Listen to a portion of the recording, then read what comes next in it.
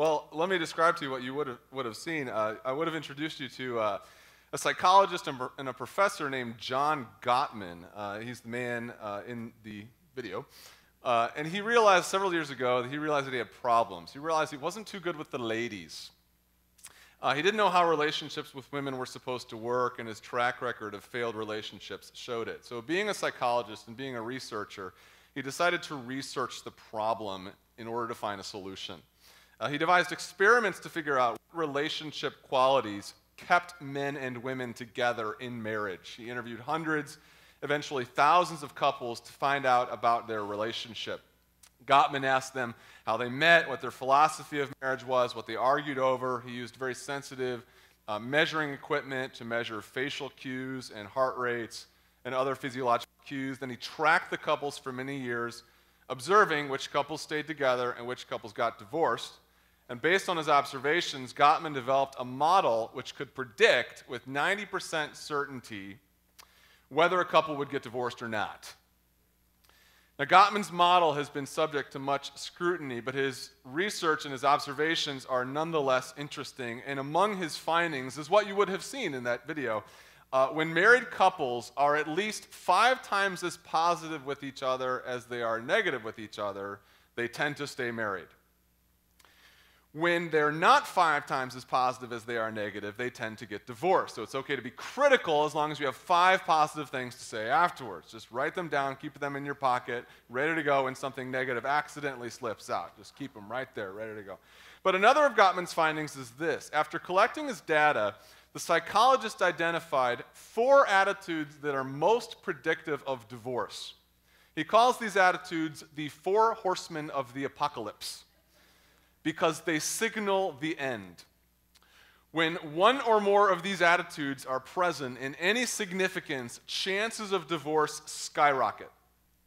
The four horsemen of the marriage apocalypse are these criticalness, contempt, defensiveness, and stonewalling.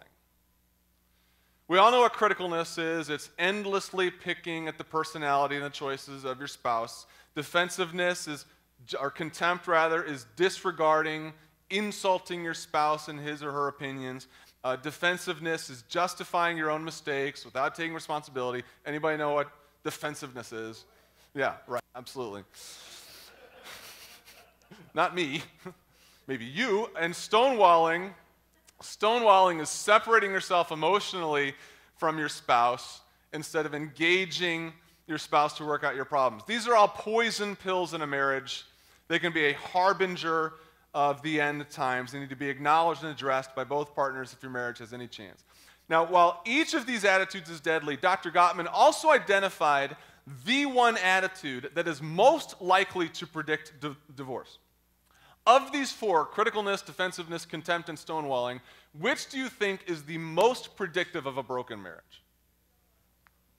I think Hudson said it contempt. People who hate each other tend not to stay married. Spouses hate each other. They tend not to stay married. Spouses who insult each other, spouses who roll their eyes at each other. Have you ever had someone roll your eyes? That makes you feel loved and appreciated and accepted. Spouses who can't listen to each other's opinions, treat each other as worthless housemates. These couples tend not to last statistically. Now, whether or not we agree with Gottman's model of divorce, it's hard to disagree with his conclusion that couples who hate each other oftentimes don't stay married. You can't build a happy relationship on contempt. Happy marriage takes something else. Not defensiveness, but humility. Not criticalness, but encouragement. Not stonewalling, but engagement. And not contempt, but respect. Talked about love last week. You weren't here. It's all right. Did you listen to it? Got YouTube? Got CDs? Okay, all right. Respect is the opposite of contempt. Happy marriages just take respect. And that's what I want to talk about with you this morning. Uh, building a marriage based on respect. If you're just joining us for the first week of the series, maybe, uh, we're talking this morning about marriage, sacred marriage. Uh, the series is called How God Designed Marriage to Make People Holy, Not Happy. And the premise of the series is just that uh, that marriage is a wonderful thing. Not just because it can bring love and joy into the lives of two people. I mean, that's great about marriage. But what's even greater about marriage is the pain and the difficulty it brings, the struggles and the drama. This is how people change and grow by learning to endure and grow through the struggles of being married. It's, it's the difficulties of marriage that turn us more into the image of Christ and get us more ready for heaven. This is a good thing. It's the difficulties of marriage that teach people about love. It's the difficulties of marriage that teach people about per- perseverance. It's the difficulties of marriage that teach people about servanthood and prayer. And it's the difficulties of marriage that teach people about respect. Uh, the Bible is very clear on the importance of respect in every type of relationship. As early as the book of Leviticus, young folks were told to rise in respect of the aged. They were also to respect your father and mother. Slaves were told to obey your masters with respect and fear. Paul tells the church in Thessalonica that they are to respect those who work hard among you, respect your church leaders. But the command to respect isn't just given to children towards parents or slaves or the youthful toward the aged. Peter writes, show proper respect to who? Everyone. Paul writes in Romans, be eager to respect one another. Respect should be the general climate of all our relationships inside and outside the church. This obviously also includes marriage. Paul writes in Ephesians that the wife must respect her husband. And Peter reverses the command and tells husbands to be considerate with your wives, treat them with respect as the weaker partner, and as heirs with you of the gracious gift of life. Don't get tripped up by that weaker partner stuff. Don't get unnecessarily offended by that. I mean, Michelle will be the first to tell you, you know, I could out bench press her any day, beat her in arm wrestling. So, Christian relationships, certainly Christian marriages, must be known by their respect. Respect is a sign that we value others, have a proper understanding of ourselves and our standing in relationship to them. But this raises two questions about respect. First of all, what is it? What is respect? It's a word we throw around a lot, but do we even know what it means? What does it mean to respect somebody? Do we respect a spouse the same way we respect the government? I was taught in school to respect the earth. My dad taught me to respect power tools. The Bible tells me to respect people. Do I respect the earth, power tools, and people the same way? Do we respect ourselves in the same way we respect others? Does respect mean admiration or fear? When Rodney Dangerfield, you old timers remember Rodney Dangerfield, what did he complain about not getting? What exactly was he not getting? Yeah, what does that mean? No laughs, uh, equal treatment for comedi- comedians. Also, and this is a biggie, how do you respect someone that isn't that respectable? How do you respect someone who's just not a very respectable person? I mean, Paul in the New Testament, Paul tells slaves to respect their masters. Really? They're being enslaved by these guys. Respect them? So that's the first question. What does it mean to respect? But secondly, how do you learn it?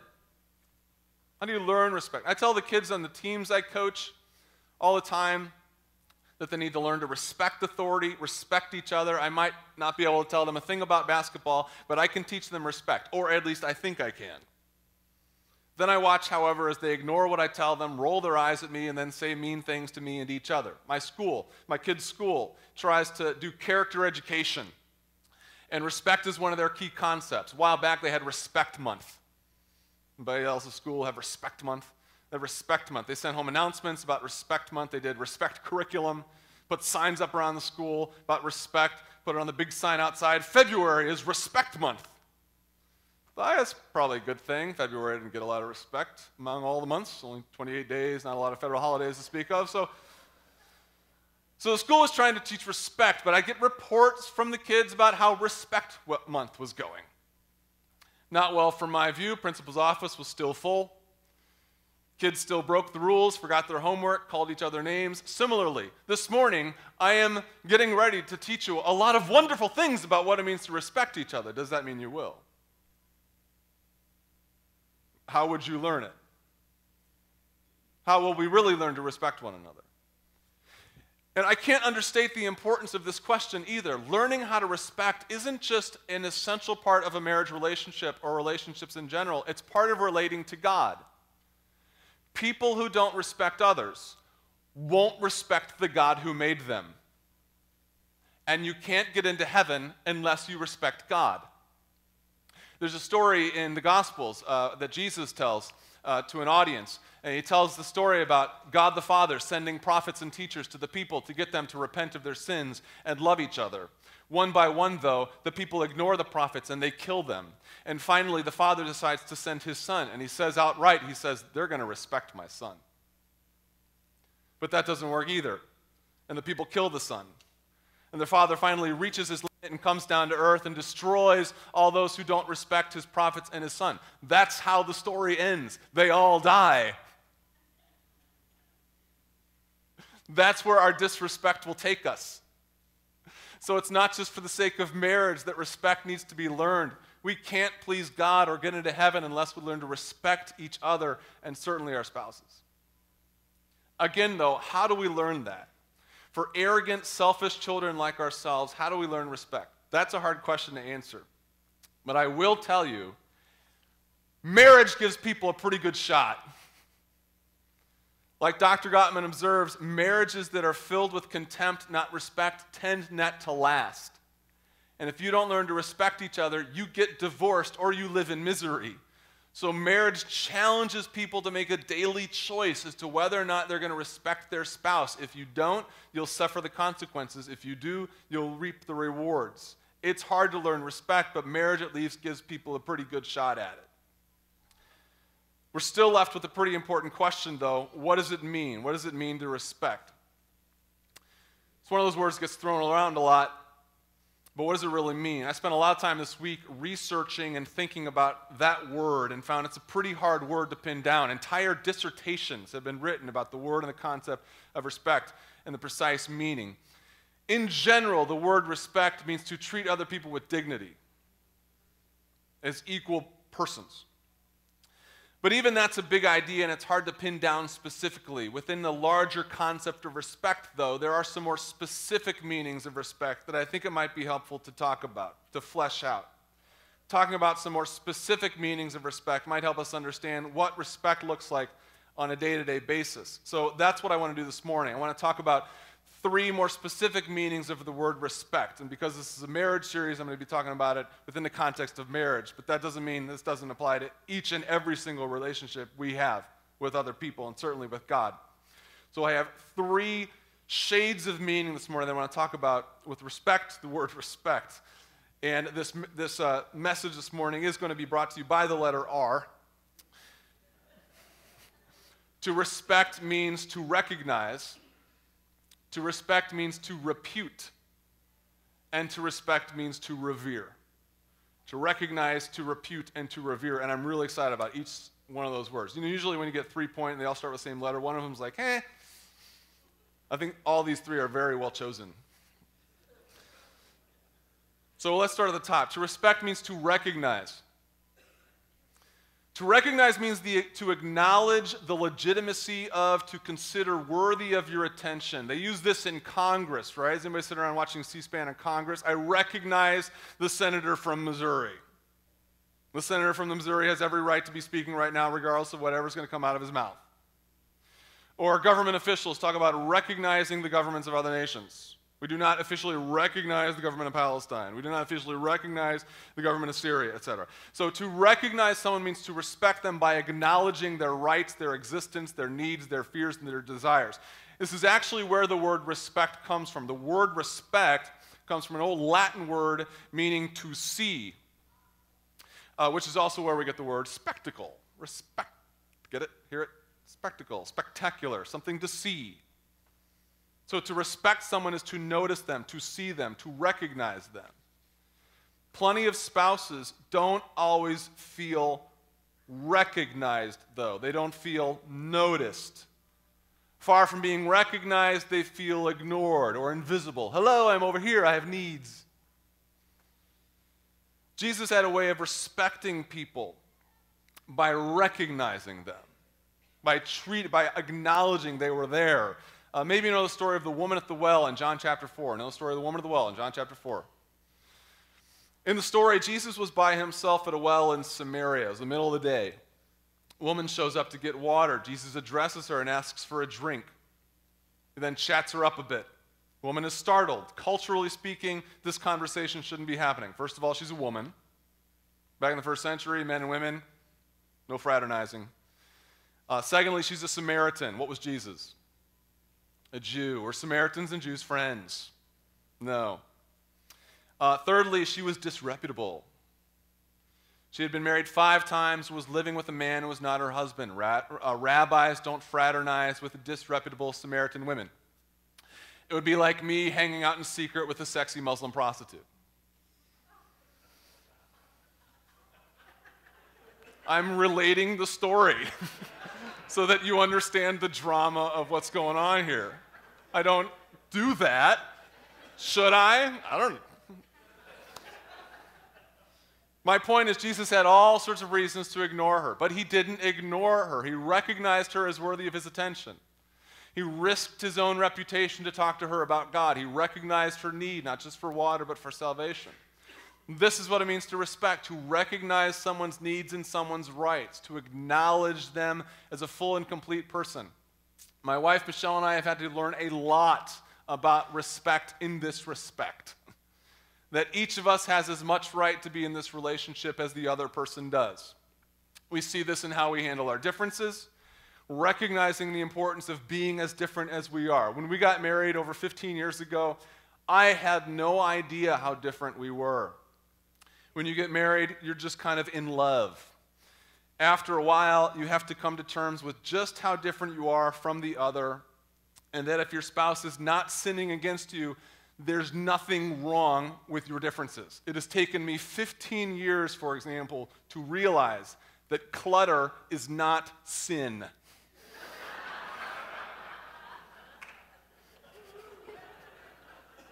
Say it with me. Clutter is not sin. If you don't get anything else out of this message aside from Jesus being Lord, clutter is not sin. There is nothing sinful about clutter. I did not grow up cluttered. Everything in my house had its place. Everything in my house got put in its place. In fact, the, the two most important women in my life right now are very different, but they're sitting like re- right close to each other, right? Clutter, non clutter. There they are, right over there. Everything in my house had its place. Everything in my house got put in its place. In Michelle's house growing up, things had lots of places. They were nomad things.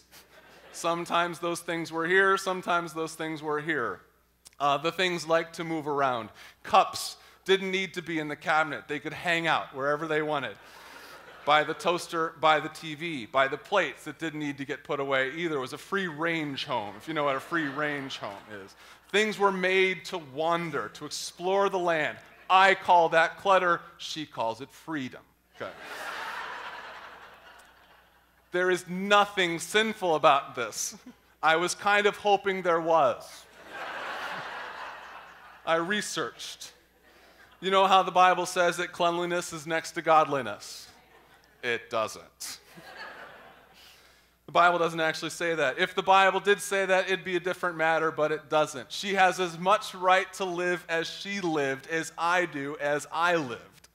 The challenge of marriage is making enough compromises so you can do it together happily. But I'm not just talking about clutter or cleaning. I'm talking about communication styles. I'm talking about emotions. As much as my wife has the right to not fold up blankets after using them on the couch, she also has the right to feel whatever she's feeling. She has the right to say what she wants to say. I do too. And as we've learned to recognize, recognize each other, and engage each other at the well instead of ignoring each other, we've learned how to communicate better. We spend less time arguing, more time discussing. We learn, we spend less time trying to convey our point, and more time trying to understand the other's point. So, sure, you might be married, but do you recognize your spouse as an equal partner in your relationship?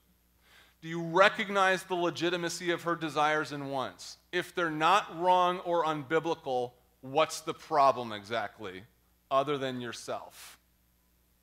Do you recognize his struggles and fears? Do you recognize each other's feelings and emotions?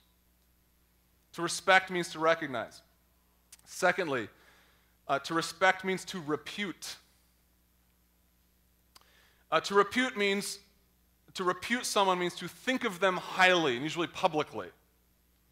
Uh, a, a, reputation, you know, a reputation is. What's what people think about somebody else. Uh, and a reputation, what people think of someone, and to respect a person uh, means to burnish their reputation. Now, in general, Christians should speak well of each other uh, and enhance, not harm, their reputations. To speak ill of others is considered what? To speak ill of others is considered slander. That's why James writes in the New Testament Brothers, do not slander one another. Anyone who speaks against his brother or judges him speaks against the law.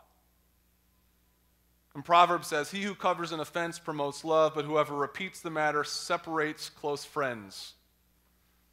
Now, fortunately, unfortunately, those words are hard to abide, especially in marriage. Uh, when marriage gets difficult, it's easy to vent and to feel okay about it. Several years ago, uh, when I was working as a pastor in Texas, uh, I was involved in a men's Bible study, and one of the guys was struggling in his marriage and he had another fight with his wife and he came to Bible study in a very foul mood. And he needed to get some stuff off his chest, so he just let her have it. I mean, she wasn't there, it was a men's Bible study. But you, you can imagine how it was going. She's always doing this, she's always doing that. I can't stand this, I can't stand that. He would just keep on saying. And what, what's remarkable, I mean, that's not surprising. Guys do that all the time. What was remarkable uh, is that we were all listening empathetically, even drawing it out. Tell us more. We understand. Wow, that's terrible. I'm sorry you had to marry this terrible person. It felt so okay to do. Even as Christians, we're supposed to be honest, right? We're supposed to take our problems to God and community, right? Well, not like that. In fact, in the middle of this guy's tirade, one of the more mature men in the group, the one with the healthiest marriage, told him to stop. Just stop. You're making, I remember the moment, you're making your wife look terrible. Which is true. I mean, we all thought worse of his wife without even realizing it. Sure, he needed help. This was not the way to do it, and probably only helped widen the gulf between he and his spouse and between her and, and their community. No spouse deserves to be reamed without being present or even while being present. Similarly, I, I never know what to do when I'm hanging out with my normal unchurched friends and they start making wife commentary or marriage jokes. Know what I mean? Does everybody find anybody find yourself in this situation? Uh, they start complaining about wives, the nagging, the spending, the moodiness, and then they turn to me and say, "Isn't that how it is, Matt? Isn't marriage a a, a, botch?" we'll flip the vowels.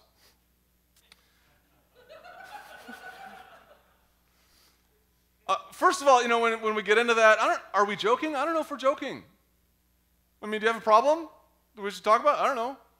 Uh, besides which, you know, I know this is not funny, but I like being married. I love my wife. She's a beautiful person. I mean, if we're going to joke about something, maybe we could joke about your problems instead. Always works for me. Why make fun of others when they're not there, when you can make fun of yourself without going behind your back? It's rude, but at least it's not gossip. of course, to turn the tables here a little bit, don't feel like you're off the hook here, women. Uh, husbands aren't the only ones who complain about their spouses. I've watched your movies.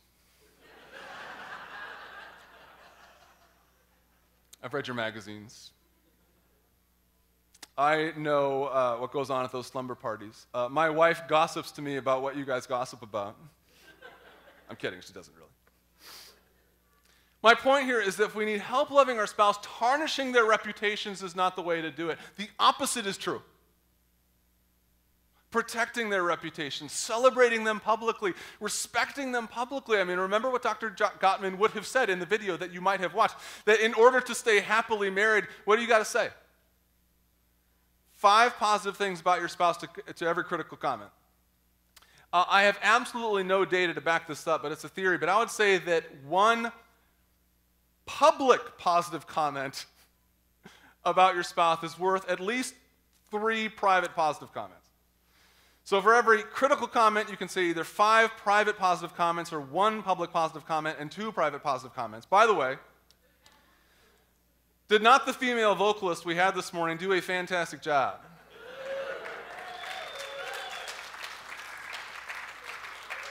Didn't she sound like an angel from heaven? Are you so blessed to have her in your lives? Are you so blessed to have her in your lives? Doesn't she radiate beauty and friendliness? Would we probably not even exist as a church without her? That's really not funny. It's very, very true. Five. So 15. I've got lots of, this is called banking. It's called, this will get me, I make a lot of withdrawals. this will get me through Tuesday with all the negative, stupid stuff that comes out of my mouth. It'll get me through Tuesday. To respect means to recognize, to repute, and lastly, to respect means to revere. Uh, you know what it means to revere. It means to think highly of someone to the point of awe and fear It means to honor as worthy. The word respect uh, is used this way in the Bible as a synonym for honor and fear. Uh, Paul tells the Romans, for example, give everyone what you owe them. If respect, then respect. If honor, then honor. He tells slaves to obey your masters with respect and fear. And as you remember what Peter tells husbands, I'm sure you remember what Peter tells husbands treat your wives with respect as the weaker partner and as heirs with you of the gracious gift of life. So the idea here is to recognize another person's true value and to treat them accordingly. Notice what Peter says. He does not say respect your wives. He says respect your wives as heirs of the gracious gift of life. That's what she is. She's not just a spouse, she's not just a partner, she's an heiress of heaven. Your husband is not just a breadwinner or a fix it guy or your last best option. He's a child of God called to rule, to rule the universe with Christ. I was thinking about this the past couple weeks as Great Britain was celebrating the 60th anniversary of Queen Elizabeth's rule on the throne. Are you aware of this, if you have been paying attention at all? Uh, I think, is this the silver diamond? Oh, thank you. You've been following closely. What was silver was what? Okay, but it's diamond. Okay, diamond jubilee. Uh, but even people opposed to the monarchy will admit that her reign, Elizabeth's reign, has been remarkable. Sure, Great Britain is smaller than it used to be. It's easier to govern. She does have parliament now and lots of actually democratically elected politicians to run the place. Plus, unlike the previous Elizabeth, she's not constantly fending off France or Spain. But despite that, Elizabeth has been a faithful servant. She gave up any, at birth, any claim to normalcy, served her country with perseverance, decorum. She's made very few missteps, remains one of the most highly regarded celebrities in the world. Uh, in a world of short lived celebrity based on outlandish behavior, it's actually kind of refreshing to see such a steady, dramaless public servant who does not care how big her glasses are. For all these reasons, the people of Great Britain really do respect her.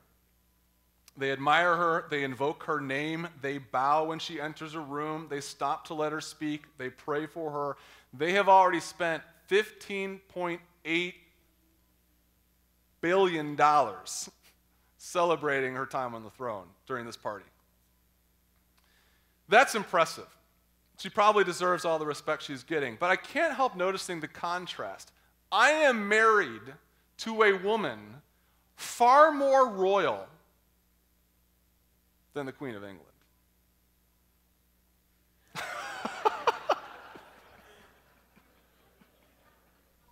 Elizabeth has ruled for 60 years. With Christ, my wife will rule over creation for eternity.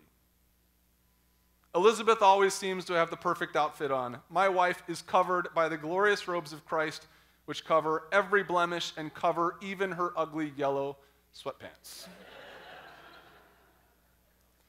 Elizabeth can dissolve parliament and fire a prime minister. My wife is a saint who will judge the world. Elizabeth can call on legions of advisors to counsel her. My wife can call upon God for his counsel and has the support of his angels. My wife is more than a queen, she's a daughter of God. My account here is just. I forget this. We all do in our frumpy clothes and ordinary bodies and mistake riddled lives. We forget who we are as heirs of salvation. We forget who we're married to. We forget who we're sitting next to. We forget who we're sleeping next to. We think we're ordinary, normal, nothing much to speak of, but we're more than that. Because of Christ, we are royal heirs of salvation. How would you treat your spouse if you actually believed that?